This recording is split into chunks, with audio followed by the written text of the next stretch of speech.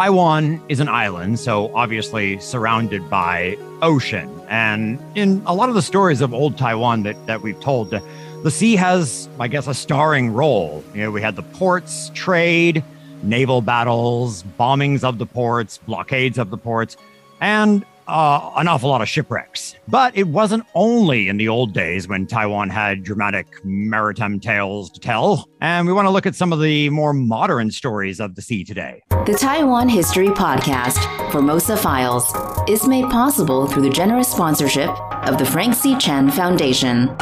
Formosa Files. Yep, uh, the sea can be a cruel mistress. Mm. And even today, she extracts a heavy toll. Eryk, you're familiar with the so called Bermuda Triangle. What does that name bring to mind? The Bermuda Triangle, uh, an area of supposed mysterious disappearances of airplanes and especially ships somewhere in the Atlantic Ocean, uh, with the triangle from like Miami and Florida to the island of Bermuda. But what was the third point? Uh, it's rather loosely defined, but sometimes uh, that third one is Puerto Rico. But the problem is, it's absolute complete n- nonsense.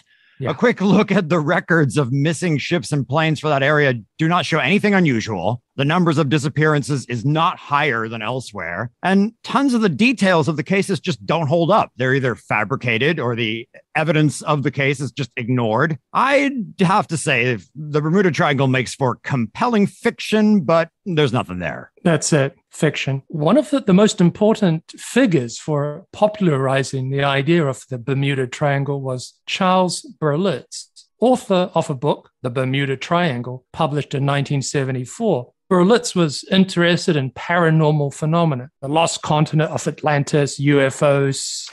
Right. And uh, he even linked those to the Bermuda Triangle. Yeah. Yeah. Although Berlitz helped make the Bermuda Triangle household name, he didn't have so much luck with another book published in 1989 called The Dragon's Triangle. The Dragon's Triangle. And the area is also sometimes called, but by very few people, uh, the Devil's Triangle, the Devil's Sea, and the Formosa Triangle. That's not really cool to be mixed up with the Formosa Dragon Devil. But anyway, what area does this uh, supposed triangle cover? An area of the North Pacific extending from Japan, uh, from east of Tokyo, all the way down to Micronesia, the islands of Guam and Yap but the geographical limits are very vague. That's a, a pretty massive area.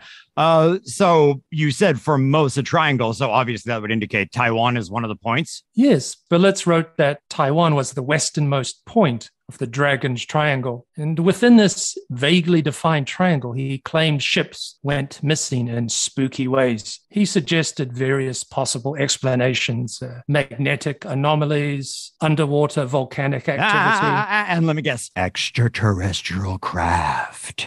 Yeah, uh, UFO sightings were noted, uh, Uh-huh. and there were some. Uh, there, there was some exotic Asian flavor uh, Hmm. f- thrown in. Uh, ancient Oriental legends tell off blah blah. Mm, uh, actually, they don't. There are no legends that I know of of sea dragons dragging ships to watery graves. Mm. Well, he wrote the strange and mysterious incidents within the Dragon Triangle have been well known in Japan and other nearby islands for a much longer time than the occurrences in the Bermuda Triangle. Ooh. Ships have been recorded as disappearing in the Dragon's Triangle for more than a thousand years. Some researchers say 3,000 years. Japanese and Chinese language sources only mention the triangle after Berlitz's 1989 book. That's funny. A bit like uh, Chinese uh, fortune cookies, right? Those are actually an American invention. Yeah. So if the Bermuda Triangle is an example of uh, successful modern myth making, then uh, the Dragon's Triangle is a good example of a failure. It has never caught on. No. And what was his evidence for disappearing ships? Very poor evidence. Nothing. Uh, mysterious color added to simple cases of ships encountering bad weather or faulty seamanship. And also moving sinkings from outside the area to within the triangle. Okay, so a ship would sink somewhere else and then he'd like just move it into a different area and attribute it to the powers of the Formosa Triangle. Yeah. Uh, in his book, Charles Berlitz has a, a list which he titles A Roll Call of Disappearances and it's very unimpressive. The majority of listings are for ships lost outside of the Dragon Triangle, as is the case with the two for Taiwan, not actually in the deep Pacific. So, not in the so called triangle area at all. Correct. And details of the book are wrong. For example, a Japanese cargo ship called the Sea Pine, according to the book, it was a victim of the triangle 26 men vanishing in 1971 en route from Japan to Taiwan, when in fact it disappeared in October of 78, sailing from eastern Borneo for the port of Taichung with a cargo of logs. It went missing in a storm, last reported about 190 kilometers southwest of Taiwan, or 23 crew on board were lost. Okay. So basically, every single thing in that is wrong. Wrong year, wrong locations, wrong fatality count. And there's an extremely obvious possible explanation a storm. Mm-hmm. Well, he got the name right. The okay. So the Dragon's Triangle might be, or I think is, complete fiction, but, you know, there's really no need to invent such a phenomenon. There have been and continue to be disappearances aplenty in this region. Yes. For example, a ship called Hualien Number One vanished on February 28th in the year 2000. It was transporting gravel from Hualien to Danshui. I remember that. Those were really dramatic times. It was a couple weeks before the historic 2000 presidential election. Yes. So uh, a couple of weeks before the uh, election, the, the missing ship Hualien Number One set sail from Hualien at 5:30 p.m. and was scheduled to arrive in Danshui at 7 a.m. the next day. But of course, the ship and crew members never arrived, and uh, no distress call was received. This is what the weird thing about this one no wreckage, no oil spill, no floating debris. Nothing was found. It went missing without a trace. And back then, there was actually speculation that the ship might have been hijacked and taken to China, but, you know, that's pretty unlikely. A mystery, but not especially mysterious no need to come up with uh, wild theories when there's a simpler explanation. The weather was bad. Right. Very strong winds, uh, gale force gusts. It was reported that two other vessels at Hualien actually delayed their voyages at that time because they thought the weather was just too dangerous. Mm-hmm. When the ship failed to arrive at its scheduled time, the search began, uh, with the early search efforts focusing on the area around Guishan, uh, Turtle Island, right? a landmark off the coast of Yilan County. And that was a bit of a pity because it's possible that if they had searched elsewhere, maybe they would have found someone or something. Yeah, based on records from uh, Chunghwa Telecom, a crew member's phone had been exchanging signals with uh, Chunghwa Telecom's coastal transceiver stations, with the last signal indicating that the vessel was not that far from Danshui. So it most likely vanished around the northern tip of Taiwan. Yes. And despite all the incredible communication and navigation technology that we have even now, the oceans and seas remain dangerous to sail on. In 2015, there was that disappearance of a Taiwanese fishing vessel. It was called the Xiang Fu Chun, I think, carrying a large crew mm-hmm. of 49, and it vanished in the remote South Atlantic Ocean. There was no Mayday, uh, no Mayday call, but there had been a call previously that there was leaking on the deck. Um, but yeah, the ship lost contact with its owners um, soon after that uh, message. Yeah. So, should we assume again that this is bad weather? Not sure of the weather, but it's a region of high winds and big waves so much open space in the southern hemisphere. It's much windier than the uh, northern equivalent latitude. I've been there and it's hellishly windy. Okay, the South Atlantic Ocean, hellish. But it is an old fishing ground for Taiwanese vessels. They're out there looking for squid. These are squid boats, mostly for the domestic market. So, putting aside the mystery angle, that case of the missing squid boat, it highlights the international reach of Taiwan's fishing fleets. Yes, and its crew of 49, which consisted of a Taiwanese captain and chief engineer, 11 Chinese, 21 Indonesians, 13 Filipinos, and two Vietnamese sailors, uh, that shows the reliance on foreign crews, most commonly from Indonesia. So just two Taiwanese among a crew of 49 and then multiple other nationalities. That's, I don't know, perhaps a recipe for misunderstandings, uh, disputes. Mm-hmm. The gravel transport and the fishing boat are good examples of the ship and crew disappearing together. But there's that other kind of disappearance that's much freakier the so called ghost ships. You know, when you find an empty ship drifting on the seas, no crew aboard, and no indication of what might have happened to them. There was such an incident in early 2021. A ghost ship, the Taiwanese fishing boat Yongyu Xing, number 18, which was found drifting in waters near Hawaii. It was first spotted by a US search and rescue plane and then fishermen from other uh, nearby Taiwanese fishing boats boarded the vessel and they found no one on the ship. Mm. All 10 crew members, a Taiwanese captain, and nine Indonesian sailors gone.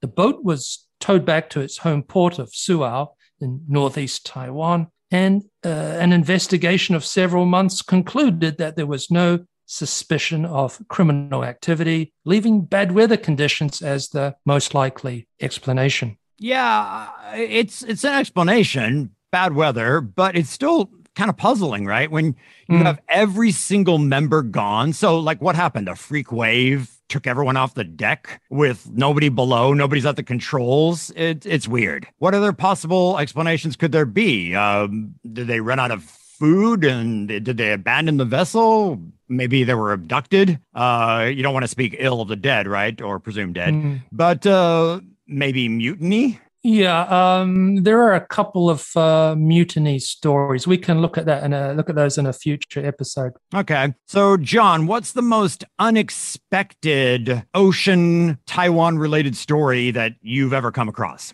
The disappearance of a dashing Frenchman called Baron Arnaud de Rosny. Uh, so Baron's not his first name. He's an aristocrat? An aristocrat. And more, a Vogue photographer, jet setting the world, photographing models and celebrities. He was from an interesting and accomplished family and a wealthy one. So Baron de Rosny uh, helped to introduce windsurfing to France. A man of diverse interests, he uh, invented a board game called Petropolis, basically a board game like Monopoly, but players went around the world buying up oil states and oil reserves.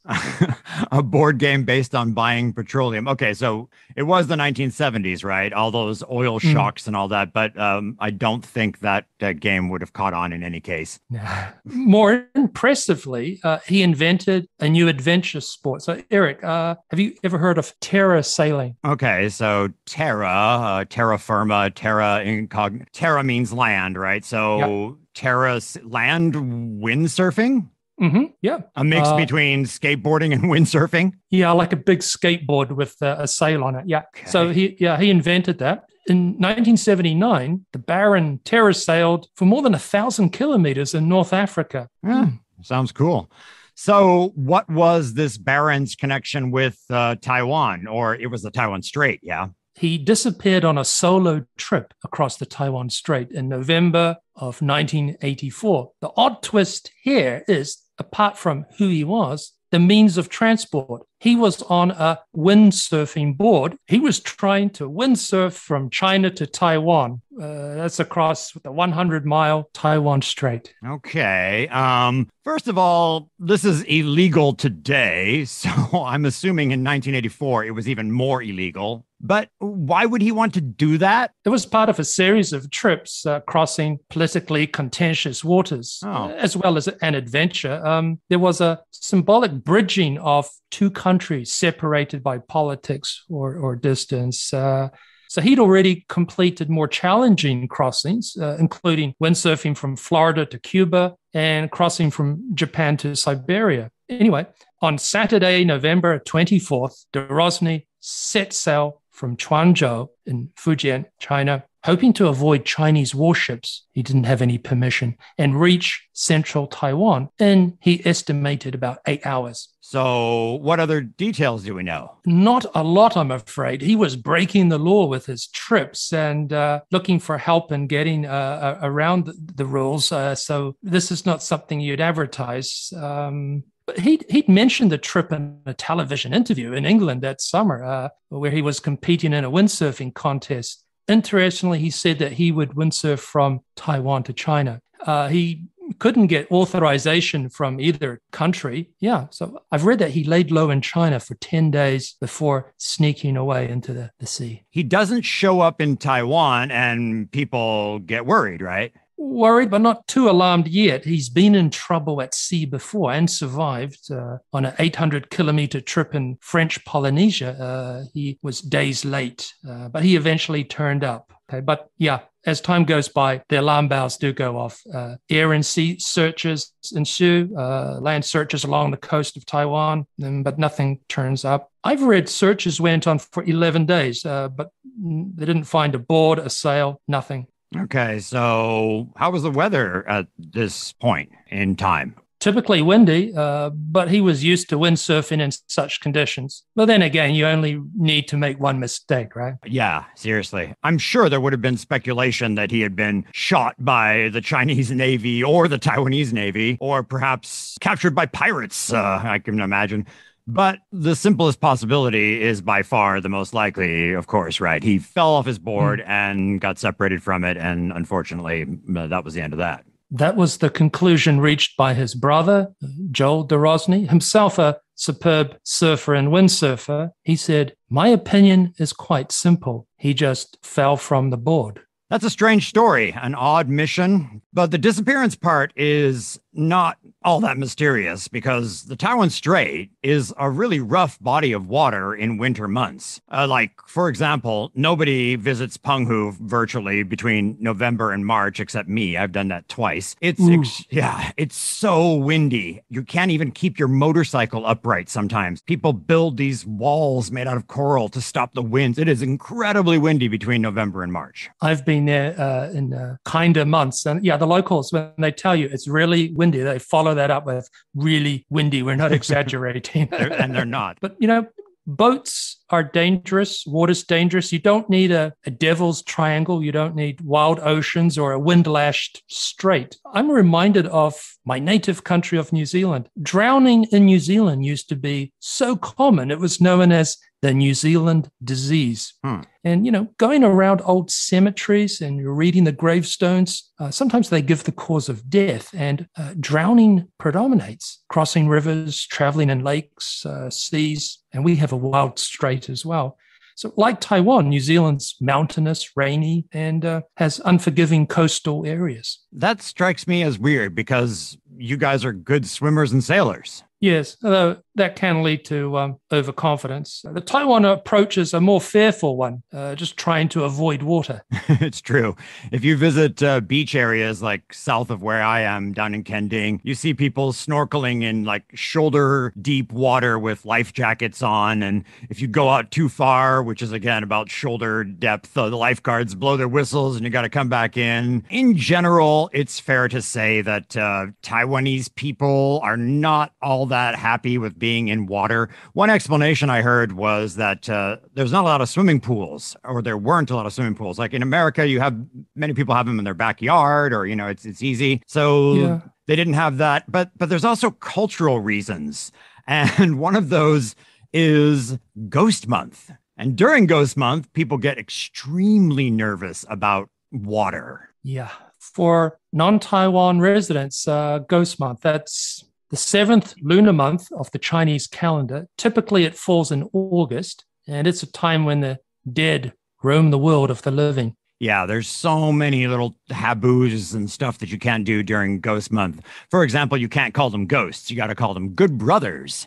You get, you know, offerings of food. They burn ghost money there's still many people here that take the month pretty seriously. You know, they don't buy an apartment or a car or, you know, skip out on scheduling a wedding during that month. And you'll hear, you know, a grandparent warn against going swimming because of water ghosts. And one explanation begets the need for another water ghosts. Okay, these are murderous spirits not just dangerous during ghost month. The idea is that people who drown become a water ghost, and the water ghost waits in bondage until a victim can be pulled in to take its place. That is that is suitably spooky. Mm. Yeah. Okay, so moving on to our next historical event. Unfortunately, we're going to be discussing a modern tragedy that occurred in an unlikely location quite a ways away from the sea. We're talking about Sun Moon Lake, the largest lake in Taiwan. So we have these other places like Chengqing Lake, but those are not real lakes, those are reservoirs. Sun mm. Moon Lake is a real lake, it's the largest lake in Taiwan. It's a gorgeous scenic resort in Nantou County, central Taiwan. But in 1990, an overcrowded pleasure boat on a moon gazing cruise capsized and that accident claimed 57 lives. It was a weekend trip for Shell Oil Company uh, employees. Uh, Shell Oil Company, well, its local division, Shell Taiwan. Uh, a two day, one night trip to Nantou, company employees and family members. So, quite late in the evening, they went for a cruise. Uh, not a regular cruise trip, but uh, exclusively uh, for this Shell group. The accident happened on August 25th. That was a Saturday. And it was the eve of Qixi, the seventh day of the seventh lunar month on the Chinese calendar. And that's an ancient festival celebrating the annual meeting of the cowherd and the weaver girl. This is a romantic fairy tale, and Qixi is sometimes referred to as Chinese Valentine's Day. But if you note, the seventh month is also Ghost Month. At about 9:20 in the evening, the boat looked to turn and head back to the pier. According to reports, what had previously been a calm night suddenly saw a strong north wind. The boat, the Xingye, was overloaded, almost double the legal limit. And with so many of the people on the upper decks, the cruise boat had a dangerously high center of gravity. And the boat's turning left, a hard left. There was a sudden gust of wind from the north, and then the boat tilted and instantly overturned left to right. Some of the passengers drowned after getting crushed or held under the overturned boat and others drowned from not being able to swim. And also, there was a lack of safety equipment. Only a few managed to get life jackets. Several of the tourists who knew how to swim immediately swam to the shore, which was about 500 meters away. And when all the bodies were recovered, the fatalities were a total of 57 people, 55 Shell employees and family members, two tour guides, and 18 of the dead, very sadly, were children. There were 35 survivors, most of which were rescued by another boat. Police arrested the pilot and vessel's owner, surnamed Shu, and uh, charged him with involuntary manslaughter. Shu blamed the accident on strong winds, but he had a lot to answer for. The motor launch was unlicensed, it was badly overloaded, uh, it was in, in, breach of a 6 p.m. curfew for boat trips on the lake, uh, and there was a lack of life jackets and uh, he seems to have been the only uh, crew member on the boat. Uh, and the the boat actually has a, a, a pretty spooky end itself. In 2007, a group of teenagers set fire to the the boat, and that was the final footnote to that terrible tragedy. But you know, there is a silver lining, if I can put it that way. At least the Sun Moon Lake drownings of uh, that year led to a whole bunch of new rules and actually enforcement of the rules. There were bans on unlicensed boats. Uh, safety equipment was, you know, you, you mandated. They cracked down on overloading and all of that. Safety did improve. And since then, there's been no repeat of such a horrific tragedy. And the, the beautiful lake attracts millions of visitors every year and enjoys, since then, a very, very safe record. So, uh, yeah, sometimes we have to learn things the hard way. So, John, um, any last thoughts? Well, yes. Uh, just that although Taiwan is an island, it's a pity that people have such a poor relationship with uh, the nearby seas, with mm. the coast. Um, I'd love them to explore it more, uh, to learn how to do it safely, of course. But for many decades, areas of the coast were off limits. That's right. Restricted areas. And uh, you couldn't own a boat, uh, well, other than fishermen. So you couldn't have your personal watercraft. So there are reasons for people not uh, taking to the coastal waters as much as you would expect. Yes, and that is uh, changing, right? We, we see a lot more uh, smaller pleasure boats. We see people out there with paddle boards and stuff. So, yeah, starting to change. Starting to change, yes. All right. Thanks for joining us. I'm Eryk Michael Smith. I'm John Ross. Catch you next time. Bye.